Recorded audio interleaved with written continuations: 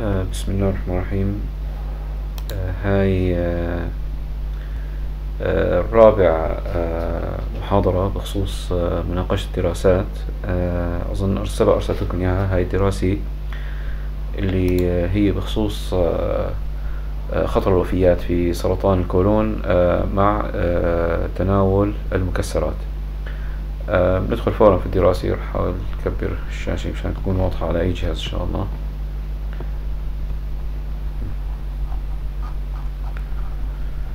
نعم عنوان الدراسي هو not consumption not بتجي بمعاني عديدة هون آه، في هذه الجملة تعني آه، مكسرات. آه، ممكن تجي حتى بمعنى مجنون. وإلى معاني أخرى بس في هون آه، بهالجملة معناتها مكسرات. Consumption استهلاك يعني استهلاك المكسرات أو تناول المكسرات. And survival survival هو البقية أو الحياة. يعني survived بقي على قيد الحياة هيك معناتها. Survival البقية أو الحياة. In patients آه، في مرضى with stage 3 colon cancer. يعني عندهم سرطان كولون آه، في المرحلة الثالثة. آه، فالدراسة هذه اللي طلعت عليه هو شيء اسمه استهلاك المكسرات والبقية في مرضى سرطان كولون المرحلة الثالثة. بعدين في عندكم إشارتين هون شرح لهالكلام. بيقول results النتائج from CALGB بعدين في رقم. أنا الحقيقة ما عرفت شو الرقم بس هو مذكور بالدراسة آه الأصلية يعني ما عرفت إيش معنى الاختصار.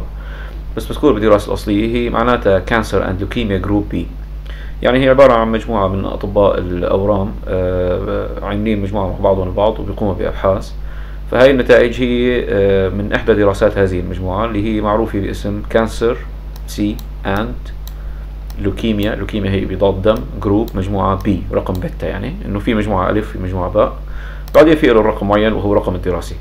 فهون كاتبين alliance alliance يعني تحالف. يعني تح... هني عبارة عن تحالف من عدة مؤسسات أو عدة مستشفيات عدة جامعات مجتمعين مع بعضهم البعض عاملين تحالف بحثي يعني مثل ما بنقول. آه، فهاي النتائج من إحدى هذه الدراسات اللي بيقوم فيها هذا آه، التحالف. آه، بعدين في عندكم تفاصيل عن آه، آه، المؤلفين عندكم مجموعة من المؤلفين كبيرة باعتبارهم هن بالأساس تحالف من المؤسسات. بعدين عندكم معلومات عنهم فذاكرين عدد كبير من المؤسسات في دول مختلفة الحقيقة. ما بيهمكم تعرفوا هذا الشيء عنه بنجي فورا للدراسة. آه، أول شيء purpose. purpose يعني الغاية أو الهدف. هي بتشبه background أو آه، target أو ما أشبه ذلك. يعني الغاية والهدف من الدراسة. آه، فعم بيشرح هو عم بيقول observational studies يعني الدراسات آه، المراقبة مثل ما بتذكروا نحن ناقشنا شيء إنه في عندكم observational وفي عندكم experimental studies. فعم بيقول observational studies يعني دراسات مراقبة سابقة have reported increased colon cancer recurrence and mortality. يعني هاي دراسات سابقة. سابقا آه، reported يعني أصدرت نتائج أو أصدرت تقارير آه، بخصوص increased آه، colon cancer recurrence and mortality بخصوص زيادة نسبة النكس recurrence and mortality الوفيات في الكولون cancer في المرضى الذين لديهم حالات من hyperinsulinemia يعني فرط انسولين الدم آه، بما فيه type 2 diabetes آه، داء السكري النوع الثاني لأن هو فيه له نوعين. هلا في ناس تقول فيه له أكثر من نوعين بس آه، حاليا مقبول في الطب إنه له نوعين الداء السكري obesity يعني بدانة sedentary lifestyle. Sedentary يعني آه، نمط الحياة آه، آه، السكوني الركودي يعني الغير نشيط sedentary lifestyle يعني الشخص ما بيتحرك ما بيمارس رياضة إلى آخره. and high glycemic load diet. diet يعني حمية أو نمط طعام. Glycemic load يعني الحمل السكري. High glycemic load diet يعني نمط طعام ذو حمل سكري عالي. يعني بيتناول كمية كبيرة من الحلويات والأشياء اللي بيدخل في تركيب السكر وما أشبه ذلك. يعني الجملة كلها عم بيقول دراسات مراقبة سابقة آه، أظهرت نتائجها زيادة نسبة النكس والوفيات في سرطان الكولون في المرضى الذين لديهم. آه، فرط أنسولين الدم داء سكري نوع تاني بدانة نمط حياة ساكن وحمية عالية الحمل السكري. يعني هاي الأشياء كلها أساءت للإنذار في حالات آه، ال colon cancer. من ناحية النكس ومن ناحية الوفيات. آه، بعدين عم بيقول جملة ثانية عم بيقول nut intake يعني استهلاك المكسرات has been associated ترافق with a lower risk of type 2 diabetes metabolic metabolic syndrome and insulin resistance. عم بيقول إنه تناول المكسرات آه، سابقا آه، تم لوحظ بأنه يترافق مع آه، انخفاض آه، خطورة حدوث آه، الداء السكري النوع الثاني metabolic syndrome اللي هي تترافق مع الداء السكري آه، في لها أكثر من مكون syndrome الأنيتا فهي اجتماع عدة أشياء من بيناتها المقاومة للأنسولين وجود نمط غير محبب من من شحوم الدم إلى آخره. metabolic syndrome بإمكانكم تقرأوا عنها أكثر إذا بدكم. And insulin resistance يعني المقاومة للأنسولين. يعني هدول عندهم المرضى بيكون عندهم الأنسولين عالي بالدم ولكن جسمهم ما بيستجيب له. ومثل ما تعرفوا الأنسولين بخفض السكر في الدم فبينتج عن, عن ذلك الداء السكري. لأن استجابة المرضى للأنسولين بتكون آه، ضعيفة. بعدين الجملة اللي بعدها بيقول however على كل حال the effect of not intake on colon cancer recurrence and survival is not known. آه، ولكن وعلى كل حال آه، تأثير تناول المكسرات على سرطان الكولون نكسه والبقية فيه غير معروف. يعني عم بيقول إنه الداء السكري وفرط أنسولين الدم اللي هن كل أشياء مترافقه مع بعض البعض والبدانة ونمط الحياة الساكن والحمية عالية السكريات كلها تسيء إلى الإنذار آه، في سرطان الكولون آه، بينما لوحظ أنه تناول المكسرات يحسن من الداء السكري والتناذر الاستقلابي metabolic syndrome ومقاومة الأنسولين ولكن لم يتم دراسة تأثير آه، تناول المكسرات مباشرة على سرطان الكولون بعدين عم بيقول patients and methods يعني المرضى والطريقة التي تم فيها إجراء البحث. عم بيقول we conducted يعني نحن قمنا بإجراء a prospective يعني دراسة مستقبلية observational يعني observational يعني ما هو تداخل يعني ما هو أعطاهم شيء يعني ما قال لهم مثلا أنت كل أنت لا تأكل فقط راقبهم مراقبة. observational study of 826 eligible eligible يعني آه، آه، مقبول يعني eligible مثل ما تقول مرشح ولكن مقبول. eligible يعني ممكن قبوله في الدراسة هذا هو المعنى الكلام. Of 826 eligible patients يعني 826 مريض آه، ممكن قبولهم في الدراسة يعني في له شروط معينة فيهم هاي الشروط تكون مذكورة في النص الكامل للدراسي ال 826 uh, eligible patients with stage 3 colon cancer uh, عم بيقول هدول المرضى كلياتهم كان معهم سرطان كولون درجة ثالثة who reported a dietary intake on food frequency questionnaires while enrolled onto a randomized adjuvant chemotherapy trial آه، إيش يعني هالكلام؟ يعني هن قاموا بإجراء دراسي آه، مستقبلية آه، دراسة عبارة عن مراقبة فقط لمرضى حققوا شروط قبول في الدراسة. وكان عددهم 826 مريض كل هدول المرضى كان معهم سرطان كولون درجة ثالثة. وهدول المرضى قاموا بالإبلاغ عن الطعام اللي تناولوه بشكل يومي اللي هن reported يعني قاموا بالإبلاغ عن dietary intake on food, on food frequency questionnaire. يعني قاموا بالإبلاغ عن محتوى الطعام اللي يتناولوه بشكل يومي على food frequency questionnaire. Questionnaire هو عبارة عن استبيان. استبيان عادة بيكون ورقي.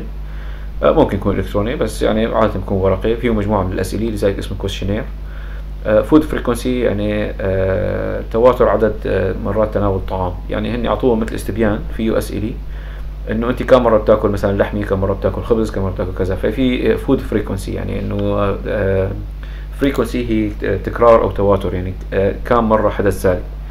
ف dietary intake تناول طعام on food frequency questionnaire يعني استبيان حول عدد مرات تناول الطعام while enrolled onto a randomized adjuvant chemotherapy trial. يعني هدول المرضى كانوا هني جزء من دراسة أخرى. الدراسة آه، كانت تتعلق ب adjuvant chemotherapy يعني المعالجة الكيميائية. اللاحقة للجراحة لذلك اسمها adjuvant. إذا كانت سابقة للجراحة اسمها neoadjuvant. آه فهدول المرضى كانوا while enrolled كانوا سلف موجودين ضمن دراسة تتعلق بالمعالجة الكيميائية اللاحقة للجراحة وكانت الدراسة randomized يعني عشوائية. فهني كانوا هني مرضى جزء من دراسة ثاني فهني استغلوا وجودهم بهذه الدراسة وأعطوهم شيء آه اسمه food frequency questionnaire أو استبيانات لتناول الطعام. أو عدد مرات تناول الطعام وقالوا لهم عبوها أثناء هني كانوا موجودين بهديك الدراسة الثانية. يعني استفادوا من دراسة ثانية كانوا عم يعملوها ومن المرضى الموجودين بهاي الدراسة وحصلوا على معلومات إضافية تتعلق بتناولهم لأنواع الأطعمة المختلفة. بعدين آه، بيقول لك using آه، Cox proportional hazard regression. كلمة regression عادة في المعنى الإحصائي يعني تتعلق بدراسة آه، درجة تأثير عوامل متعددة على نتيجة واحدة. يعني هون مثلا في هالحالة خلينا نقول النتيجة هي البقية في سرطان الكولون آه، ف آه، هون مثلا درس آه، أكثر من عامل بيأثر على البقية في هذه سرطان الكولون. فإذا عندك عدة عوامل حطيتهم بتحليل إحصائي واحد وشفت أنت إيش بيأثروا على متى حدث النكس يعني عبر الزمن فبإمكانك تستعمل شيء اسمه ال Cox proportional hazard. راح يجي هذا بالتفصيل في وقت لاحق بس هذا بشكل أساسي هو معناه. ف using Cox proportional hazards we assessed associations of not intake with cancer recurrence and mortality يعني قاموا بتقييم we assessed associations الترافق of not intake يعني uh, تناول المكسرات with cancer recurrence and mortality مع uh, نقص السرطان والوفيات فيه uh, بعدين بيقول لكم results uh, after a median follow-up of six and a half years ال median هو القيمة المنصفة لمجموعة قيم. يعني أنا إذا قلنا هو ال follow up يعني متابعة المرضى. ففرضنا أنه هو يتابع المرضى آه، بفترات مختلفة. عنده مثلا هل 826 مريض؟ مريض تابعه لمدة سنة مريض تابعه لمدة سنتين. مريض تابعه لمدة ست سنين إلى خلافه أنت جيت كل هالقيم هاي اللي حصلت عليها رتبتها من الأصغر حتى الأكبر. هل 826 قيمة؟ فالقيمة التي تقع في المنتصف تماما ما بين أول قيمة وآخر قيمة تسمى بالميديان أو المنصف.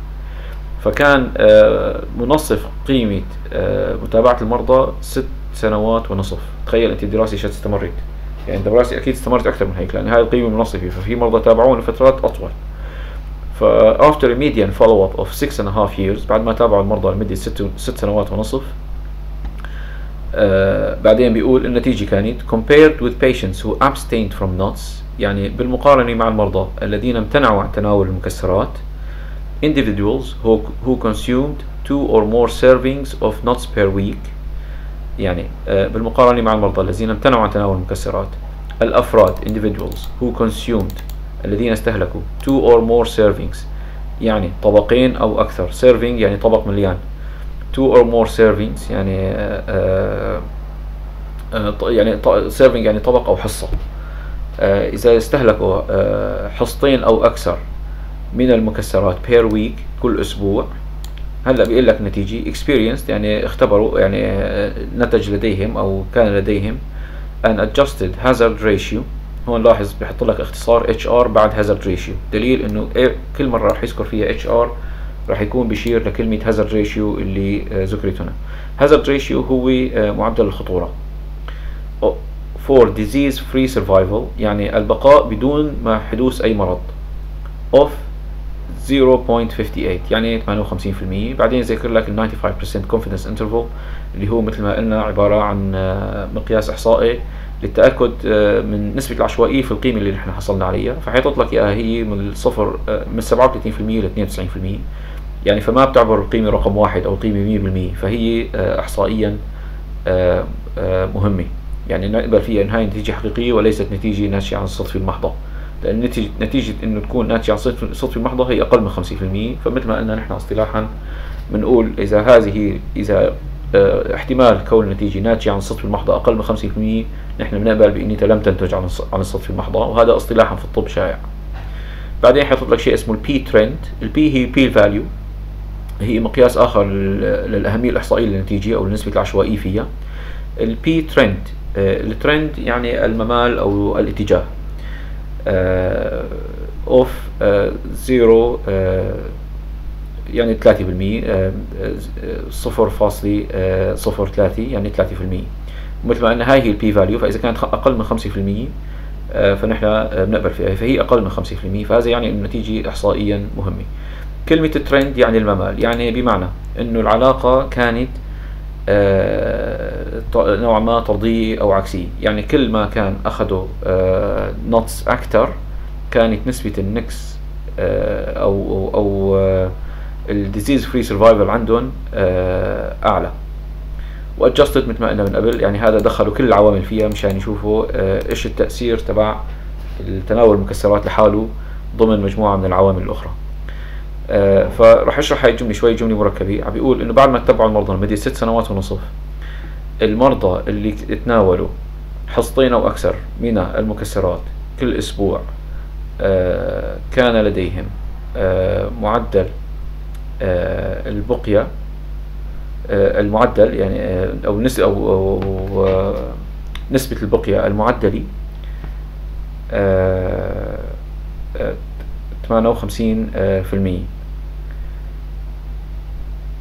عفوا لحظة شوي بس.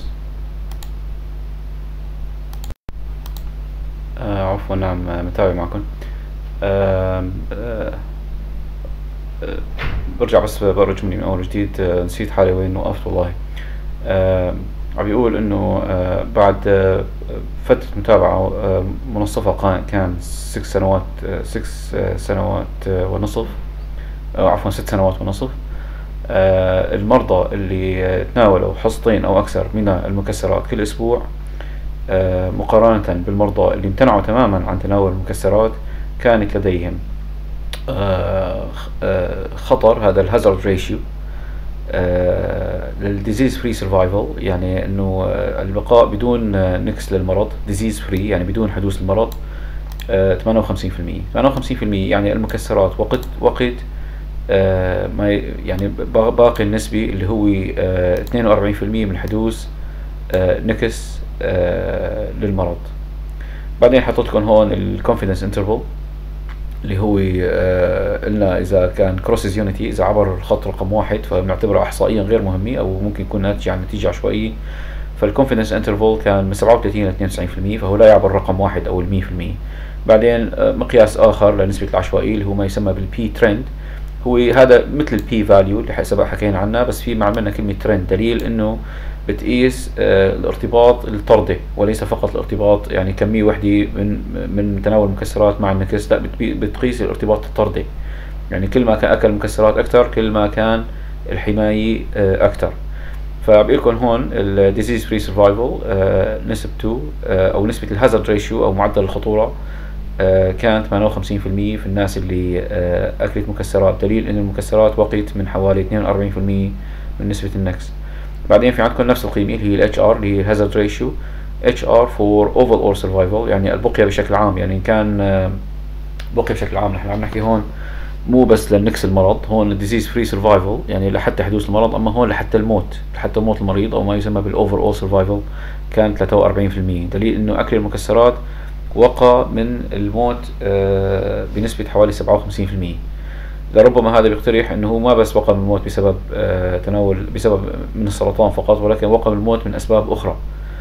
آه بعدين حطيت لكم هون كمان نفس الشيء ال 95% confidence interval اللي هي من 25 حتى ل 74% والبي ترند آه أو ال P هي مثل ما قلنا ال probability لازم يكون أقل من 5% ترند هي نسبة الميل أو التناسب الطردي اللي هي كانت واحد في المية يعني أقل من خمسة في المية. إذا هاي النتيجة إحصائية مهمة.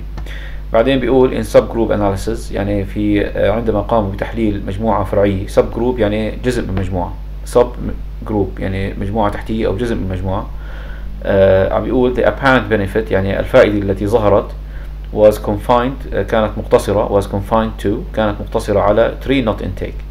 يعني هن قاموا بتحليل آه جزء من المجموعة الكلية اللي كانت عم تتناول المكسرات. آه لاحظوا إنه هاي الفائدة اللي كانت ملاحظة آه كانت مقتصرة فقط على الناس اللي أكلت آه مكسرات تنمو على الأشجار أو tree nut intake يعني مكسرات تنمو على الأشجار مثل مثلا الفستق الحلبي الكاجو الجوز أمور مثل هاي. يعني هذا الأمر مثلا بيستثني مكسرات مثل البزر اللي هي ما بنمو على الأشجار. مثل الفستق فستق العبيد مثلا ما بنمو على الأشجار. فلاحظوا إنه هاي الفائدة مقتصرة على الناس اللي تناولت مكسرات تنمو على الأشجار. عفوا لحظة. نعم.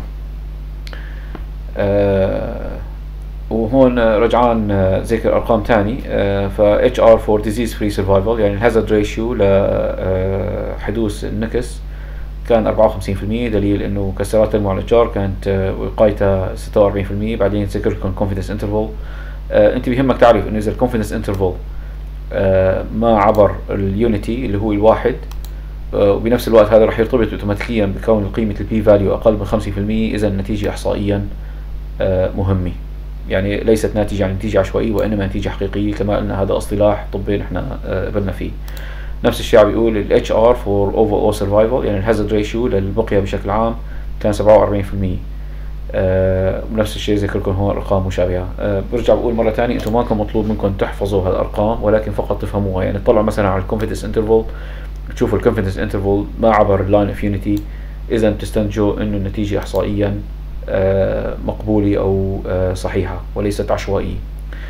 عم بيقول the association of total not intake with improved outcomes يعني الترافق ما بين كمية المكسرات المتناول الكلية مع تحسن النتائج was maintained across other known or suspected risk factors for cancer recurrence and mortality. عم بيقول إنه هذا الترافق كان maintained يعني تم المحافظة عليه عبر أسباب أخرى معروفة أو مشكوك بها لحدوث النكس والوفاة بسبب السرطان. يعني أنه هني الظاهر درسوا أكثر من سبب للنكس أو الوفاة بسبب السرطان خلال الدراسة ولاحظوا أنه في كل هذه الأسباب كان تناول المكسرات يترافق بتحسن نسبة الوفيات.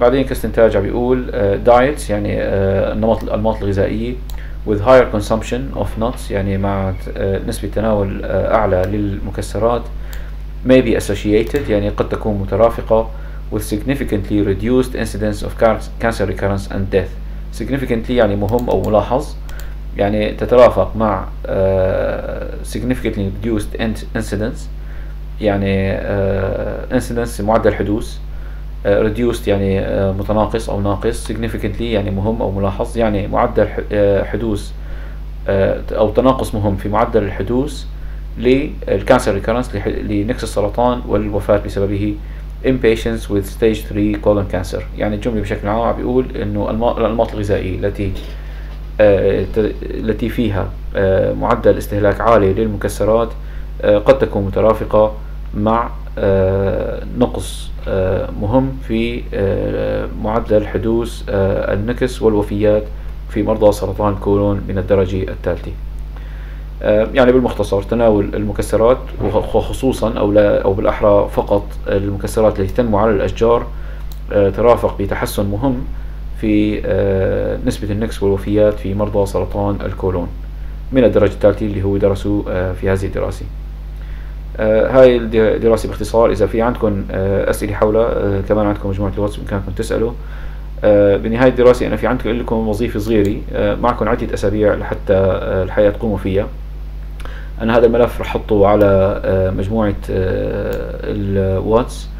الدراسة هي عبارة أنا بدي أدرس نسبة شيوع التدخين في مجتمعنا. فبدي كل واحد منكم ينقي عشرين شخص من الأشخاص اللي حواليه يفضل أقرباء. هدول الأشخاص لازم يحققوا ثلاث شروط. أول شيء لازم يكونوا أحياء على قيد الحياة. تاني شيء لازم يكون أعمارهم فوق 18 سنة. ثالث شيء ما لازم يكونوا من طلاب الكلية. يعني أنا ما بدي حدا منكم يروح والله يجيب لي طلاب من الكلية نفسها. لا روحوا مثلا أقربائكم أقرباء درجة أولى الثاني معارفكم جيرانكم إلى إلخ عشرين شخص لكل شخص بتسجل العمر الجنس إذا كان ذكر أو أنثى. إذا كان مدخن أو غير مدخن smoker yes no بتسجل هون. بعدين إذا كان مدخن بتسجل العمر اللي بدأ فيه التدخين. يعني مثلا آه خلينا نقول واحد آه خاله مثلا عمره خمسين سنة بيسجل هون ميل كمثلا خاله فبيكتب مثلا خمسين بيكتب هون ميل بعدين بيذكر مثلا إذا كان مدخن يس مثلا بدأ الدخان بعمر عشرين سنة. وهيك لحتى يكفي العشرين شخص. وأنا بدي الجميع يساهم في هذه الدراسة. وإن شاء الله راح تشوفوا تطبيقاتها آه في محاضرات لاحقة. راح يكون في لها تطبيقات كثيرة. وراح نطلع منها بنتيجة جيدة يعني في النهاية. راح تشوفوا يعني هاي الدراسة ممكن حتى ننشرها نحن مستقبلا. آه لنسبة شيوع التدخين آه في مجتمعاتنا والدراسة القادمة إن شاء الله راح تكون عن آه تأثير التدخين. والسلام عليكم ورحمة الله وبركاته.